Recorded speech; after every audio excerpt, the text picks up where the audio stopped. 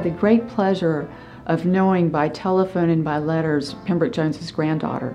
And over the years, especially after the book came out in 2001, I've learned many other things. Mrs. Jones, of course, had the house. And she had had that house, like we said, from 1884 on, and it went through many transformations, and it became 39 rooms at one point.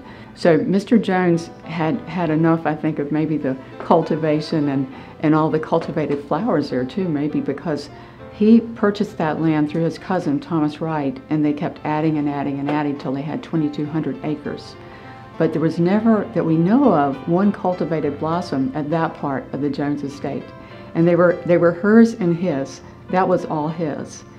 Pembroke Jones was going to use sort of a Sears and Roebuck catalog house as a hunting lodge, and his friend Henry Walters said no and got J. Stewart Barney, a great architect, to, to build, to design the Italianate sort of palace that was there. The lodge was used for parties occasionally, but the lodge was mostly a guy's place.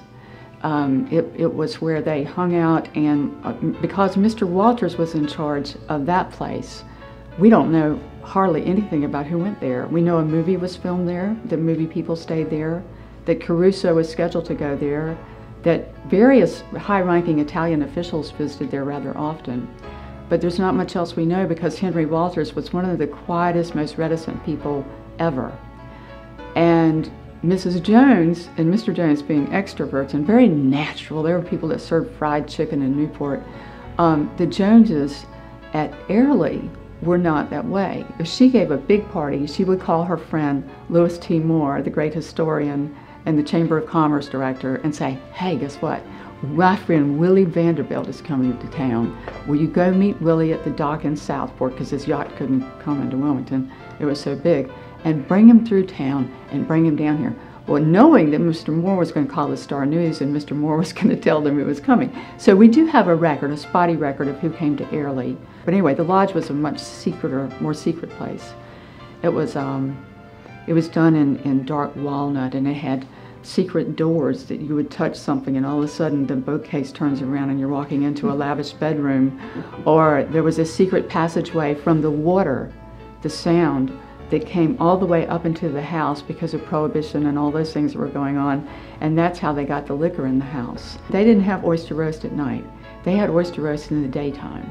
And it was very simple. They had johnny cakes, they had oysters, and they had um, usually uh, like a lemon, lemon tart or something citrus.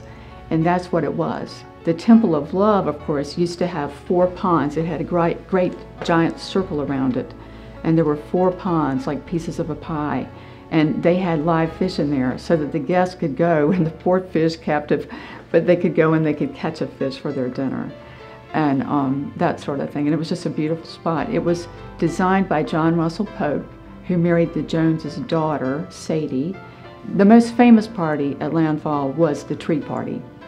And they took the live oaks that at that time there were so many and they just would follow, you know, the ground sometimes seeking sun and they took those and with the help of um, Julius Evans, Mitty Evans' husband, and several other people, they built platforms and they had um, violinists, they had an orchestra up in the platforms in the trees, and all the guests went up nicely situated ladders that were made uh, that they would not stumble.